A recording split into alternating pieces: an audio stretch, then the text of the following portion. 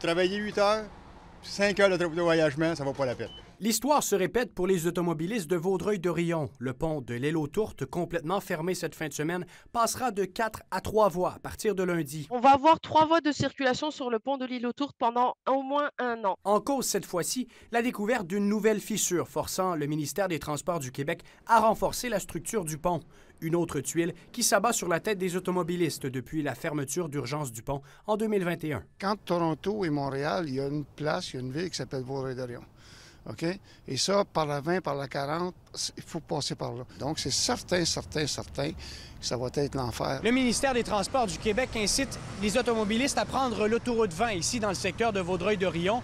La particularité, c'est qu'on se retrouve en plein milieu urbain avec des feux de circulation qui complexifient les déplacements. Je peux pas me permettre. Les pharmacies ferment à une certaine heure, puis il faut faire les livraisons avant. Les patients attendent le médicament. Et là, c'est comme euh, une heure déjà que je suis euh, en attente. Normalement, ça vous prend combien de temps? 15 minutes. Et là, j'ai encore un autre, euh, selon mon, un autre 20 minutes. L'autre problème, eh bien, c'est que ces automobilistes tentent de trouver des raccourcis et se tournent vers les rues des quartiers résidentiels, ce qui crée des files d'attente monstres. Normalement, c'est un coin assez tranquille ici. Ben ouais, normalement, il y a des chars parqués, mais ça passe pas comme ça. Là.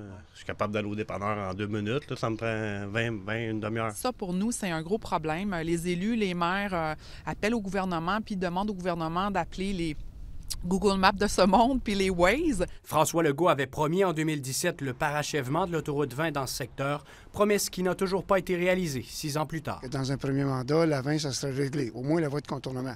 Et là, on est en 2023, 24 bientôt, et il n'y a rien qui avance. Des policiers assureront la fluidité de la circulation aux intersections durant la durée des travaux. Également, les autorités comptent sur la bonification du service de banlieue. Un peu partout sur l'île, les automobilistes devront être patients cette fin de semaine. Des entraves majeures sont toujours en cours sur le pont Papineau-Leblanc, fermé complètement, en plus du tunnel La Fontaine, fermé de nuit jusqu'à dimanche. Marc-Antoine Lemoignan, TVA Nouvelle, Vaudreuil-Dorion.